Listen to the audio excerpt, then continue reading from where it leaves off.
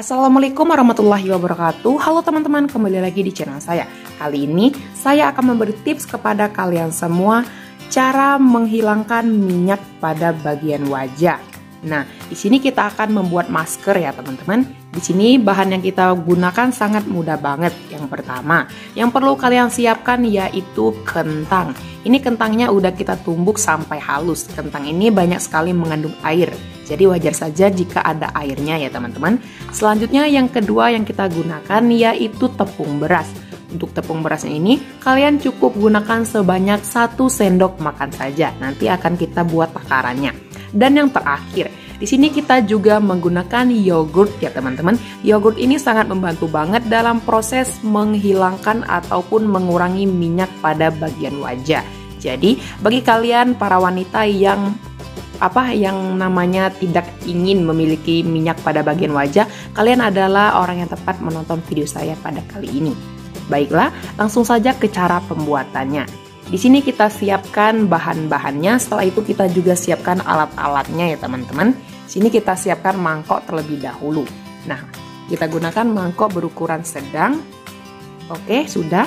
Selanjutnya yang pertama yang kita masukkan yaitu kentang kentang yang udah kita tumbuk halus. Kentang yang udah kita tumbuk halus tadi kita masukkan sebanyak satu sendok makan saja. Oke sudah. Selanjutnya di sini kita juga masukkan tepung berasnya sebanyak satu sendok makan. Oke. Dan yang terakhir, di sini kita juga masukkan yogurtnya ya teman-teman. Untuk yogurtnya ini pun kita gunakan secukupnya saja, sebanyak satu sendok makan saja. Jadi kita perpaduannya satu banding satu. Oke, sudah.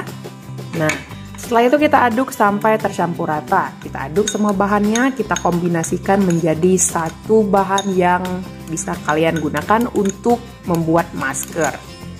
Nah, jadi seperti ini kan teman-teman. Jadi sangat mudah banget dan simple banget cara pembuatannya dan cara penggunaannya pun yang pastinya sangat mudah banget.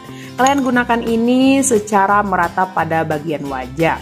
Setelah itu, kalian diamkan hingga mengering kemudian bilas menggunakan air bersih. Lakukan ini secara rutin untuk menghilangkan minyak pada bagian wajah dan membuat wajah kalian bersih secara alami.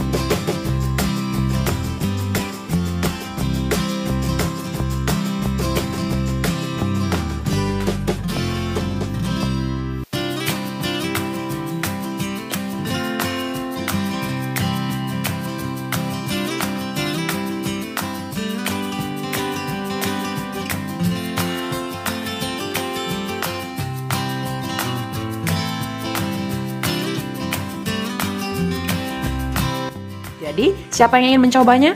Ini adalah salah satu tips yang sangat manjur banget. Lakukan secara rutin sebanyak dua kali dalam satu minggu ya teman-teman. Itu pun sudah mendapatkan hasil yang memuaskan banget.